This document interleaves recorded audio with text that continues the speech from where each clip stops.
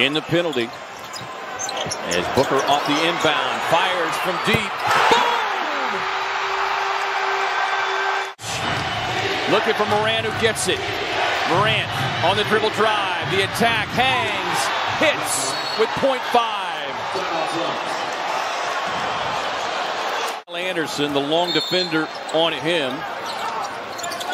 They get it to Bridges. Baseline fade. Won't go.